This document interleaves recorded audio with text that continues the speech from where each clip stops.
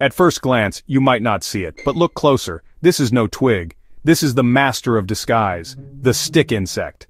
Stick insects are among the world's greatest camouflage experts, blending seamlessly into branches, leaves, and twigs. With bodies that can reach up to 13 inches long, they vanish into their surroundings, becoming nearly invisible to predators. If threatened, some species can shed a limb to escape, and later regenerate it.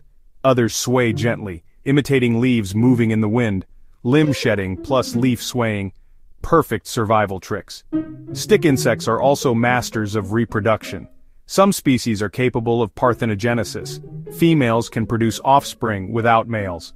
One female alone can start an entire colony. Diet?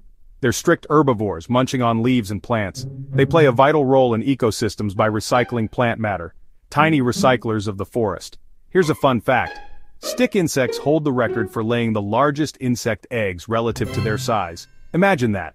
A twig that can carry a legacy the size of a seed. Nature's little surprise. So next time you walk through the forest, look twice. That stick on the branch?